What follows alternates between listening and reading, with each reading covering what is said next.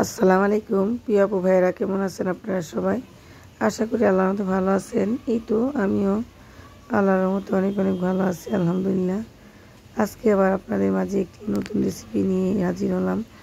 আমি তৈরি করে দেখাবো ডিম, ডিমের ইনুক এক রেসিপি চলুন তাহলে দেখি। আমি এখানে একটি প্যান গরম করার পর এখানে প্রায় হাফ কাপের চেয়ে একটু কম তেল দিয়ে দিলাম। তেলটা গরম হওয়ার পর আমি এখানে অ্যাড করব এক কাপের মতন পেঁয়াজ কুচি। ভালো করে পেঁয়াজগুলো একটু ভেজে নিতে হবে। এটা ডিমের একটা ইউনিক রেসিপি এটার পরোটা, ভাত, খিচুড়ির সাথে অসম্ভব মজার হয়ে থাকে। এই তো আমি পেঁয়াজগুলো একটু হালকা লালচা করে নিলাম। তারপর আমি এখানে দিয়ে দিব হালকা একটু পরিমাণ মতন লবণ আর এক চামচ আদা রসুন বাটা। আর দিয়ে দিব এক চামচ মরিচের গুঁড়ো আর এক চামচ হলুদের গুঁড়ো। দিয়ে একটু পানি দিয়ে ভালো করে এটাকে কষিয়ে নিতে হবে। এটা ভালো করে কষিয়ে নিতে হবে সুন্দর করে। আর আপু ভাইয়ারা, দয়া করে আমার পুরো ভিডিওটি দেখবেন। দেখার পরে একটি লাইক, কমেন্ট করে জানাবেন কীরকম হয়েছে। আর এখানে আমি আট নয় দশটা কাঁচামরিচ দিয়ে দিলাম।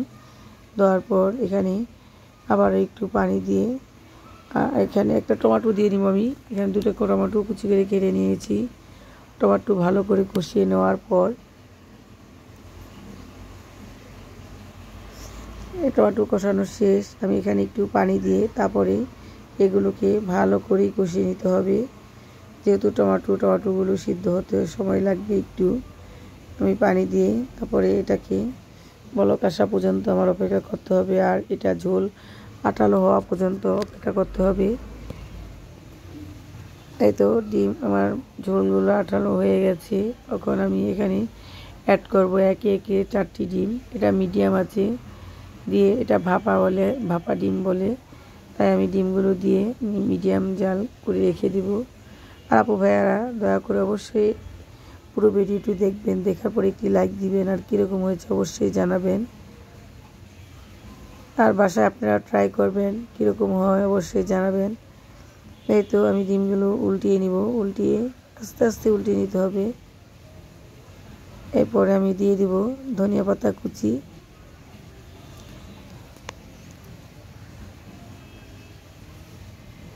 ধনিয়া পাতা কুচিগুলো দেওয়ার পর আমি আস্তে আস্তে ধনিয়া পাতা কুচিগুলো দিতে হবে। দেওয়ার পর এটা আমি ঝোলটা একটু আঠালো হলে তারপরে নামিয়ে নিব, যখন একবারে শুকনো শুকনো হয়ে যাবে, তখন আমি নামিয়ে পরিবেশন করে নিব। আমি আমার মতন করে পরিবেশন করে নিয়েছি, আপনারা আপনাদের পছন্দ অনুযায়ী পরিবেশন করবেন। তো আমার ভিডিওটি শেষ আজকে রান্না এখানে কীরকম হয়েছে অবশ্যই কমেন্ট করে জানাবেন। আজকের মতন এখানে বিদায় নিব, আল্লাহ হাফেজ।